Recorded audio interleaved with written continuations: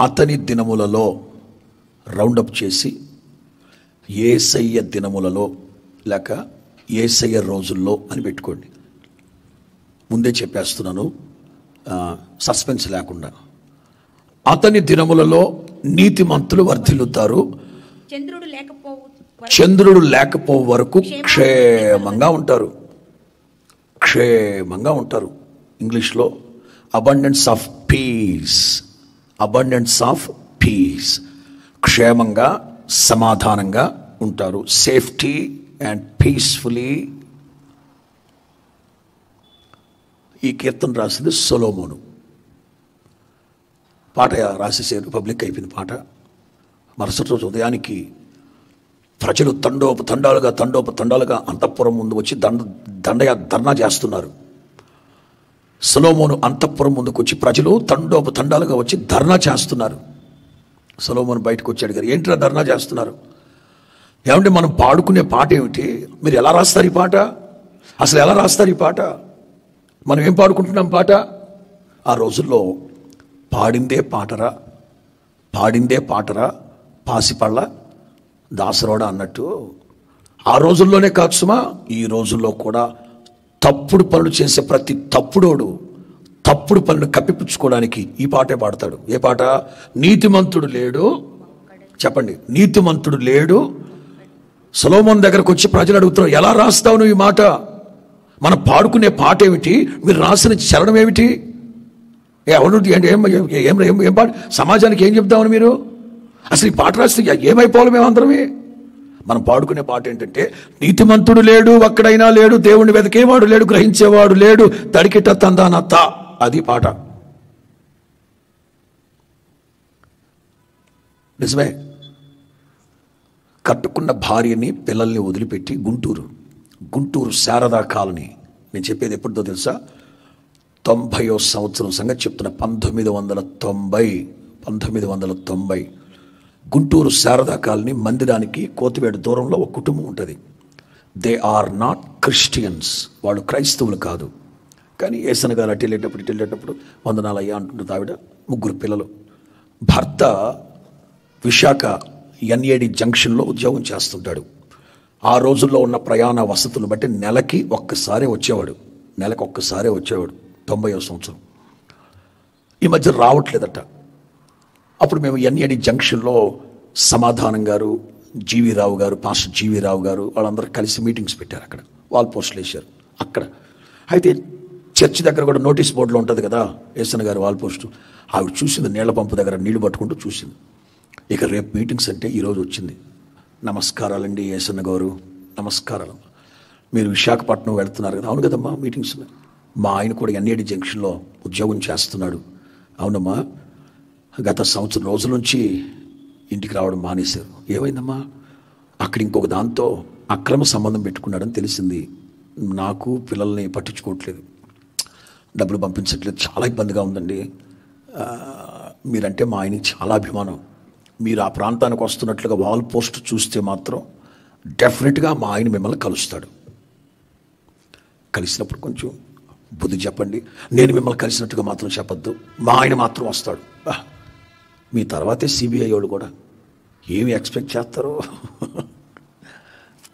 సరేలేమ్మా మాట్లాడతానన్నాడు. వైజాగ్ వెళితే నిజమండి ఆవిడ ఏదైతే ఎక్స్పెక్ట్ చేసిందో రెండో రోజు పగలు వచ్చేసాడు. ఏసన్ గారు నమస్తే అండి నమస్తే అండి నమస్తే నమస్తే బాబు నమస్తే good morning good morning Esan గారు ఎలా ఉన్నారు? మీరు రావడం చాలా సంతోషం అండి ఈ ప్రాంతానికి. మేము ఎప్పుడు చూద్దామా ఎప్పుడు చూద్దాం సంవత్సరం అయింది నేను గుంటూరు వచ్చి చాలా సంతోషం మాట్లాడుతుంటే ఏసన్ గారు ఈవిడ చెప్పిన మాటలు గుర్తుండి బాబు భార్య పిల్లల్ని వదిలిపెట్టేది ఎక్కడేదో కొంచెం అట్లా ఉన్నా ఉంటా ఏంటి సంగతి అంటే ఏసన్ గారు దాహం అయిందనుకోండి మాది గుంటూరు. దాహం అయితే నేను విశాఖపట్నం నుంచి గుంటూరుకు వచ్చి నీళ్ళు తాగెళ్తానా? అని చెప్పిన మాట. ఆ ఎదవలకి ఇట్లాంటి బాగా దొరుకుతాయి అనుకుంటా. ఎక్కడ దాహం అయితే అక్కడ? అవునా? మరి ఎండ్రిని తాకపోయావా? ఫినాయిల్ తాగి సాగుకుపోయావా? ఇవన్నీ వేసిన గారు తప్పు కదండి. కట్టుకున్న భార్యని కన్న పిల్లల్ని వదిలిపెట్టి ఏం పనిది? వెంటనే అంటాడు ఏసన గారు నీతిమంత్రి ఎవడున్నాడండి లోకంలో? నీతిమంత్రి ఎవడున్నారు? అయినా ఏసన గారు నా పేరేంటి? నా పేరేంటి? చెప్పారు నీ పలానా పేరు. కదా? నా పేరు కలిగిన ఆయన చేస్తే ఏమో లేలా అంటున్నారు. నేను చేస్తే ఏమో నా పెళ్ళం గోల్ చేస్తుంది. నా పేరు కలిగిన ఆయన చేస్తే లీలలో అంటున్నారు. నేను చేస్తేమో నా భార్య గోల్ చేస్తుంది. ఏంటండి ఇది? అయినా నేను క్రైస్తవుని కాదు కదా.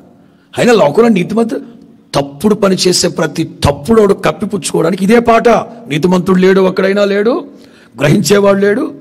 సిగార్ తాగి రైలు బండిలో రైలు బండిలో ఫస్ట్ క్లాస్ ఏసీలో సిగార్ తాగి ఫర్ వదులుతున్నాడు.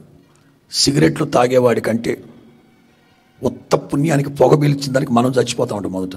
అందుకని చదువుకున్న వాళ్ళు ఉన్నట్టున్నారు. ఏంటండి ఇది సిగరెట్ అంటే? ఏమండి మాస్టర్? నీతిమంతుడు ఎవడున్నాడండి? ప్రతివాడు మొదట ఆ మాట అంటాడు మొదట ఆ మాట అంటాడు. సులోమన్ రోజుల్లో ప్రజలు కూడా నీతిమంతుడు ఎవడున్నాడు? అప్పుడు సొలోమోన్ వాళ్ళకి నచ్చ చెప్పాడు రే పడుద్దాయిల్లారా నేను ఏం రాశాను అక్కడ? అది. అతని దినము మన రోజుల్లో కాదు మనమంతా మనమంతా ఒకే బడిలో కూర్చున్నాం. తాగుడు తిరుగుడు దుర్మార్గం. అతని దినములలో ఎవరతను యేసుక్రీస్తు. పాత నిబంధన అంతా మనం గమనిస్తే మనుషుల యొక్క నీతి మురికి గుడ్డల్లాంటిది మురికి పేలికల్లాంటిది. వాళ్ళు నీతిమంతులుగా మారడానికి ఎన్ని చేసినా పాత నిబంధనలో నీతిమంతులుగా మార్చబడ్డానికి వాళ్ళు ఎన్ని కార్యాలు చేసినా వాళ్ళ పాపాలన్నీ కప్పబడి ఉన్నాయి.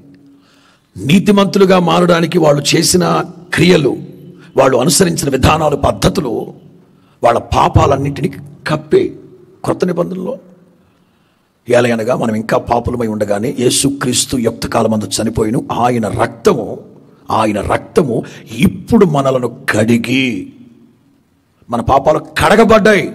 వాళ్ళ పాపాలు కప్పబడ్డాయి. మురికి పేలికి లాంటిది మనుషుల నీతి.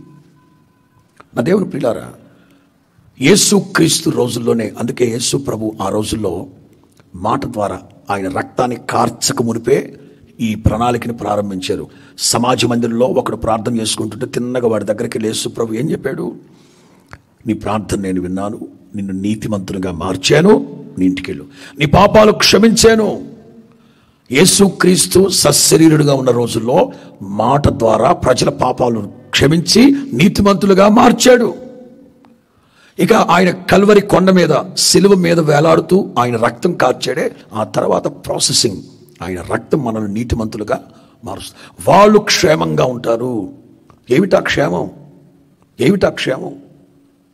దీన్ని అంటాను రక్షించబడ్డం రక్షింపబడ్డం.